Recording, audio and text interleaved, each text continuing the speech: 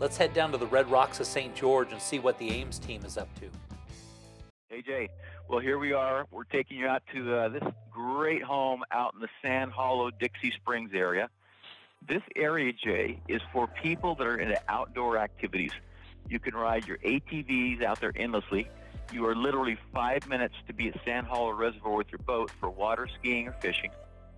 And this house was custom built, ideally for somebody that has one of those great big, beautiful uh, RVs, Yeah. including a, a, a R, yeah, so big, huge garage. Yeah, you can tell. I mean, that thing, it's a real standout on the property. This is this is amazing. But going inside, take a look at these nice clean lines. I love this. Yeah, this house was built all in the new contemporary style. Has the grays and the whites. Has um, really nice appliance package in it. But the great room in here is really open, really open, and uh, looks out to some great views on the mountains. Yeah, I love that fireplace. Very nice. So are we going to the master here? Is that what this is? Yeah, Yeah. Yep, this is the master. Nice big, nice, uh, nice layout for the master uh, bath. Has the brushed nickel appliances. They really blew that master shower up. It's huge. Yeah, these colors are so in style right now. Everything that you put in this this house, very very nice. And of course, the master on the main floor, which is so popular down there.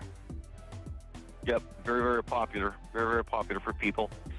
Um, and, you know, like where we were at this house, Jay, you're literally only 15 minutes, to like eight golf courses. You're 25 to 30 minutes from Zion National Park. So really convenient. Yeah. So we're headed down to what we consider the lower level here. Tell me about this. hmm So this area down here, they built it, you know, so they could have uh, family, friends, or maybe even like a mother-in-law uh, situated down here. So it's got great living space, or you could use it as a, a big great room. Lots of lots of room. Yeah, and you can tell it's, this house is ready for somebody to move right in. Yeah, it's it's really turnkey right now. They could close and move in the next three or four days. Absolutely. And now, now we're taking a look at this garage. This is really something. 15 feet wide by by 50 feet long, and a 14 foot roll up door. Man, I mean, you'd buy this house eh, if you didn't have one. You have to go buy a big motorhome to put in there. Yeah. Amazing. Okay, so John, Yep. if somebody wanted more information about this property, how would they reach out to you? Yeah.